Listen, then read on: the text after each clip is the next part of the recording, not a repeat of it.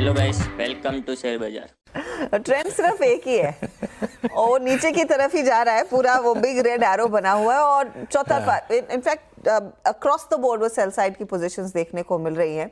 हम ऐसे लाइटली कह रहे हैं, लेकिन जो है तो सो है। श्रीराम फाइनेंस आज नंबर्स आएँगे छः परसेंट नीचे। एम एन एम देखिए किस तरह से टूटा है।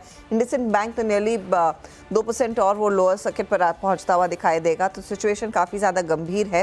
लेकिन जो ज़्यादा ब्रॉडर मार्केट के पेन की बात अनुज कर रहे थे, वो आपको अगली प्लेट में दिखाई देगा। डिक्सन देखिए A U small Hindustan copper Bandhan जैसे काउंटर्स जहाँ पर छः सात परसेंट तक का नुकसान देखने को मिल रहा है।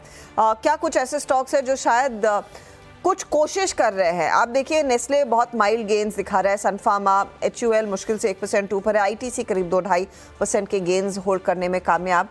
Lawrence कॉजरिज consumer torrent pharma doctor Lal ये दूसरे काउंटर्स हैं जहाँ पर हमने देखा है आ, कुछ तेज़ी की पोजीशंस बनती दिखाई दी है। एक एक और चीज़ मैं कहना भूल गया था। आई थिंक बीरू ने मुझे उसका भी रिमाइंडर दिलाया।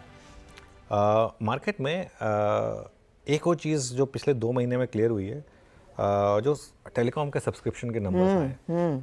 आई थिंक उसने एक चीज़ क्लियर की है कि जो हमने एक एज्यूम कर लिया था कि प्राइस हाइक आराम से अब्जॉर्ब हो जाएगी नहीं हुई है। लोगों ने उसका प्रोटेस्ट किया है। जुलाई और अगस्त दोनों महीनों में ताबड़तोड़ सब्सक्राइबर्स लूज हुए हैं। हाँ। सारी कंपनियों के रिलायंस के जियो के भी भारती के भी और वोडा आइडिया के तो खैर पहले से ही हो रहे थे लेकिन उनके भी हुए हैं। साढ़े सात रुपये रह गया वोडा आइडिया हम्म। अब आप सोचिए अब ग्यारह रुपये का एफपीओ था है ना? ग्यारह रुपये का एफपीओ था अब आप आगे साढ़े सात रुपये पे।